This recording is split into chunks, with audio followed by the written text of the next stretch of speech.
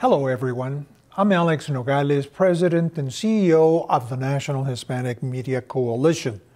And today I am going to tell you about the last event NHMC did on December the 5th in Washington, D.C. to close out the year 2011. MC by our D.C. attorneys Jessica Gonzalez and Michael Scurato, NHMC honored two of our champions at the Federal Communications Commission, also known as the FCC. Hosted by the National Association of Broadcasters and Comcast NBC Universal, Mike and Jessica introduced former Senator Gordon Smith and Maria Arias from Comcast. Here is what they had to say. I want you to know that broadcasters are telling me to put the put the pressure on to make sure that we uh, we do a better job of, of sensitivity to all the diversity that there is in America. And there are few communities more important to America's future than the Hispanic community. Comcast and NBC Universal are committed to driving initiatives that promote and impact Latinos in our communities. Diversity echoed throughout the evening, and one of our champion honorees, Commissioner Mignon Clyburn, pledged the following.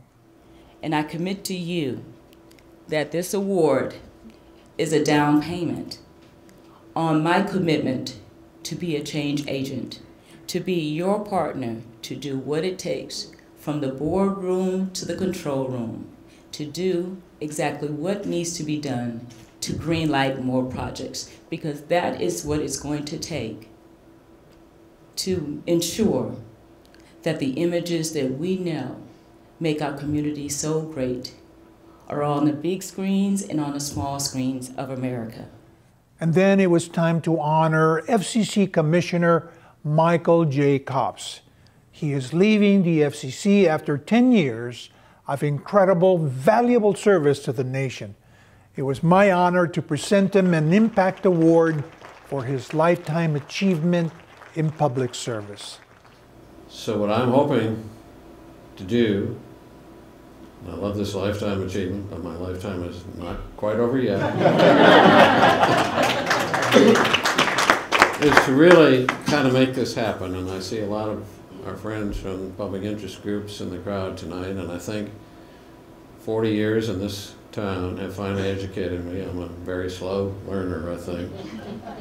While good change can come from the top down, real change comes from the bottom up. And it comes from the grassroots up. And we all need to dedicate ourselves to that because it's a moment of real challenge for the future of the country. But I have, I have been honored for 10 years to serve in this position. I think the FCC is a great organization. Indeed, the FCC is a great organization struggling with major communication issues that influence the nation one way or another every day of the year. We will miss Commissioner Copps, but you heard him say it. He will always be available to discuss and help forge solutions to the urgent media issues facing the nation. I'm Alex Nogales, and we will see you next week.